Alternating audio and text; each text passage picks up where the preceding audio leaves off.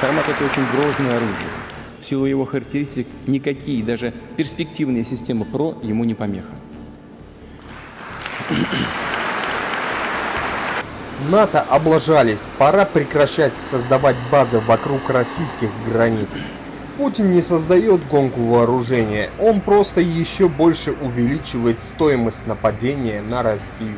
Я думаю, что у Путина слишком много компромиссов. Эх, если США или Китай начинают создавать новую баллистическую ракету, то мир весь злится на них.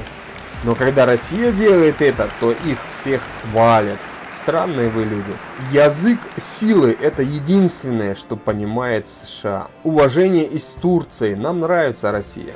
Великий Путин, Великая Россия. США напуганы устаревшей армией, которая все еще использует много оборудования из советской эпохи. Ха-ха, Россия едва ли имеет военно-морской флот. Каждый должен понимать одну простую вещь. Это оружие не может угрожать но оно может предотвратить большую войну. Это оружие бесполезно для агрессии, но оно идеально подходит для обороны. Это будет катастрофа для России. Вся страна развалится в последний раз, когда попала в гонку вооружения. И Россия сегодня намного слабее, чем тогда. И Запад намного сильнее. Единственным языком, который понимает США, является Сармат РС-28.